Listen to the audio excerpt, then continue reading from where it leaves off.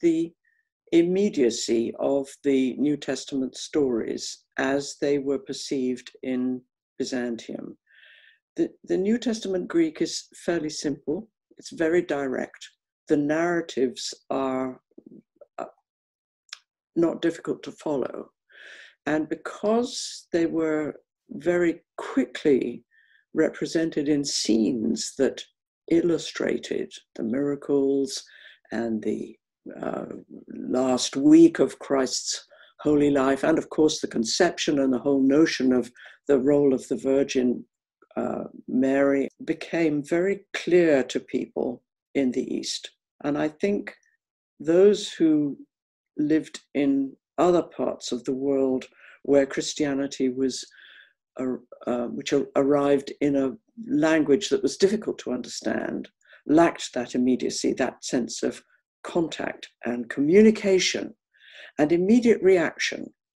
And of course, if you also add then the fact that the theology was encapsulated in images, which were deeply revered as representations of gospel truth, then you can see how people began to relate very closely to individual figures, saints, particularly, for example, people who were named Stephanos, obviously your Saint Stephen is going to be your patron saint, and you're going to have a direct relationship with that saint.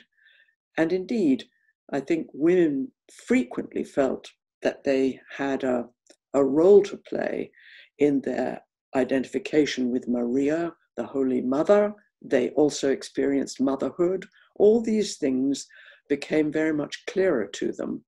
And therefore, their interest in theology in whether the Holy Spirit could have descended from heaven in the form of a dove and impregnated the Virgin through the ear.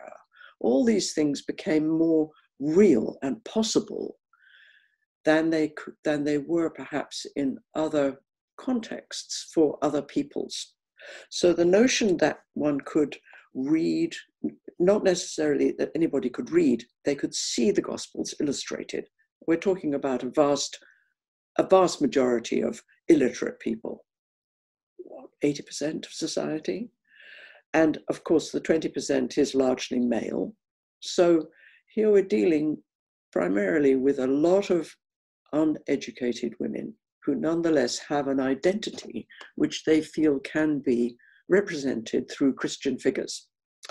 And I think that's a very significant element in their interest in theology, in their interest in the discussions that took place over the role of icons, over the question of the wording of the creed, over issues which were gobbledygook to people in the Latin West who were similarly uneducated and didn't understand Latin and didn't know what they were signing up for when they converted to Christianity.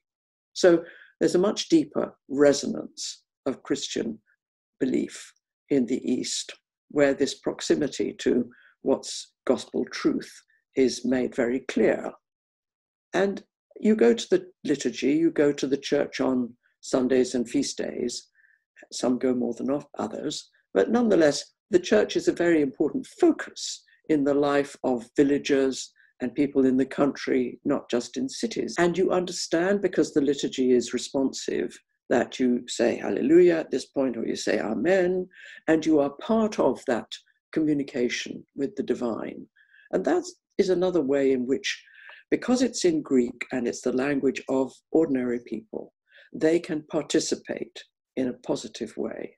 So there are lots of other things which make it much easier for the people we call the Byzantines, to have a very direct sense of access to Christian faith, which they express and then they manifest in their practical lives, teaching their children that they have to be generous, that they have to be uh, loving, that they have to uh, respect their elders, admire their, their grandparents and their leaders, and go to church and dutifully recite what they understand to be the tenets of Christianity.